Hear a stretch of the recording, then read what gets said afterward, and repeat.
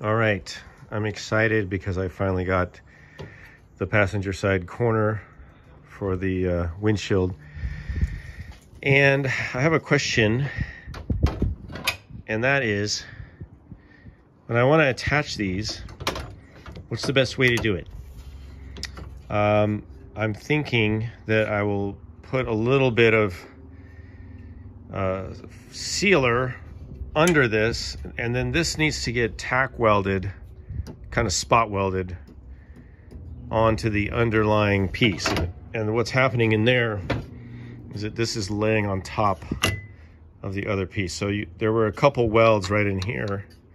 My question is what's the best way what's the best way to weld that?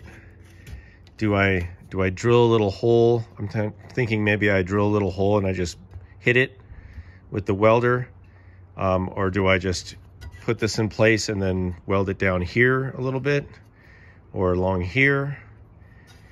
Um, what's the best way to attach this corner, these corners?